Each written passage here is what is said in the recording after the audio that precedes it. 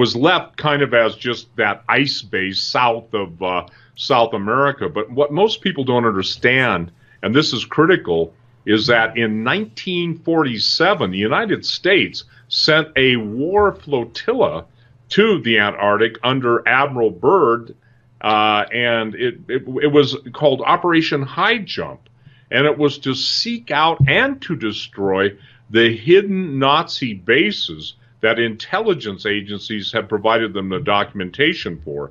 It wasn't a small thing 13 ships, 4,700 men, and the state of the art, if you will, advances in U.S. weaponry. The bad news is we got our, our rear ends kicked, and in 1947, uh, it was actually February, things started in August of 46, ended in 1947. Admiral Byrd came back and reported to Congress what had happened. The Russians, incidentally, had made a video because they were spying of our aircraft encountering flying saucers. Now, in order to put this into perspective, two of the heads of NASA, which is our national, uh, you know, uh, aeronautic and space administration, were former Nazis, very prominent scientists. And when you deal with Hermann Oberth and you deal with uh, oh, Dr. Wernher von Braun. And uh, Hermann Oberth's famous statement is think not that we Germans were brighter than any other scientists. We had help from other worlds. And that's interesting because, you know, when when Admiral Byrd came back, he had the first Secretary of Defense on his side to tell the American people what was really going on in the Antarctic, and that was Forrestal. Forrestal again was the first Secretary of Defense, and when he was wanting to tell the American people what they had found uh, through Operation High Jump and the advanced technology, he was thrown out a third-story window at Bethesda Naval Hospital. So when you're dealing with the Antarctica and you're dealing uh, with the history of the Antarctica, it is steeped in absolute not only mythology and let's just say this mythological references, but in the 1500s, even the Piri Reis map showed Antarctica without ice. Now that that basically comes into total conflict with the modern uh, geologic time frame of glaciation. So what really is going down there? And, and here's the here's the billion dollar question, probably trillion. Why are the world's religious leaders and the world's most powerful leaders going to the Antarctica? I don't think uh, uh, Kirill, the Russian Orthodox patriarch, is going down there to, you know, just basically meet penguins.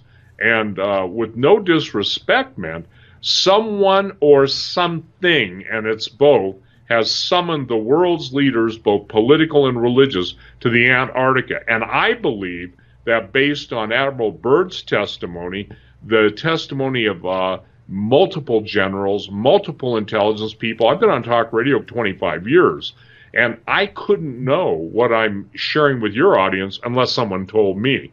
So I don't know everything, but I certainly know what they've told me in reference to Antarctica.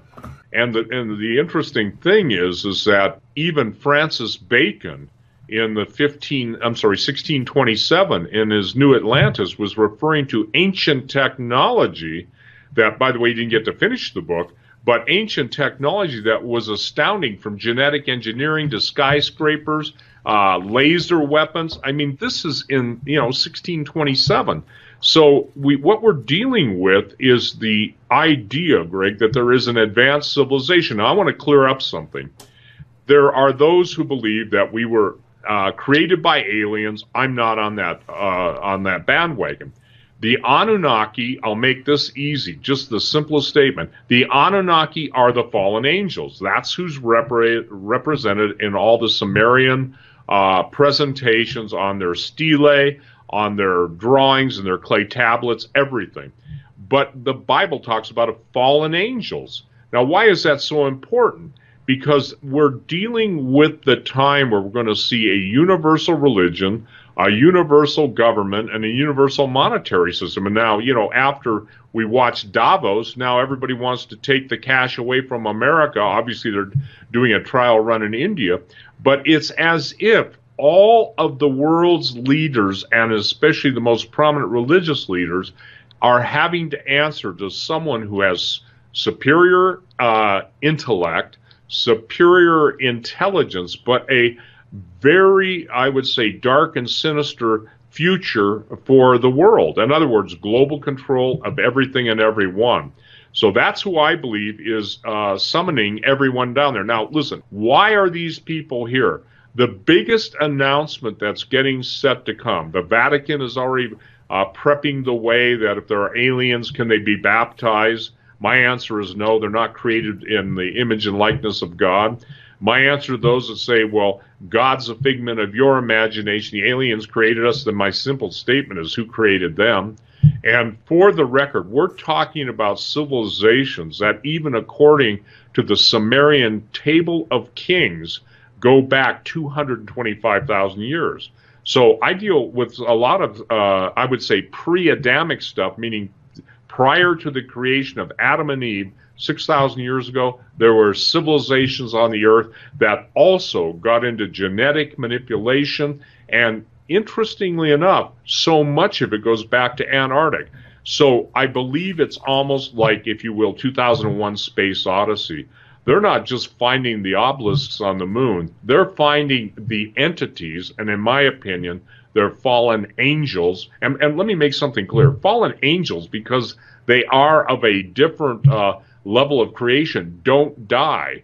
You know, so we're talking about things that can pass on hidden, esoteric, occult knowledge and have to the adepts, those who basically buy the lie, get to do the, uh, if you will, the uh, up. Uh, they they're they're brought up to speed on what are called black physics. Black physics are what exists beyond the uh, PhD level of physics, and we're seeing it in CERN. Uh, I think what uh, is so critical for people to understand is as more activity takes place in CERN, the occult rituals associated with it are so in your face that you know you can't dismiss this kind of stuff anymore as being oh the rantings of this fringe or that fringe. Something is happening, and the Antarctic is critical. It's my contention that because of the advanced technology of the uh, Third Reich, and especially their pharmaceuticals and their finances and everything, that they went under the ice, so to speak, and that they pretty much came into contact with beings, sentient beings, which obviously Hermann Oberth and, and uh, Wernher von Braun and others have made reference to so many times until they passed away. So all this stuff is a matter of record. And when you put all the records together, it points to this. There is some entity or group of entities that are sentient. That means obviously the thing